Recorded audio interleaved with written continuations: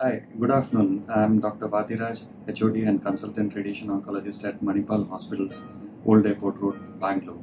It has become quite difficult these days for the patients as well as doctors during COVID times to take care of the oncology patients. Oncology treatment is involving a lot of uh, investigations and the treatment and the care is quite uh, intense.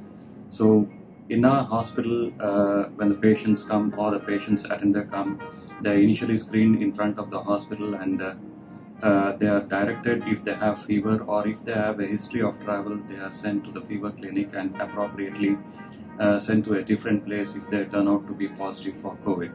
In our department, we take utmost precautions and we have trained all the staff to handle these patients, following the hand hygiene and uh, wearing the masks and cleaning up the machine area as well as the planning CT scan room so that none of our patients get infected. And we have been continuing the treatment since the lockdown from March till today successfully.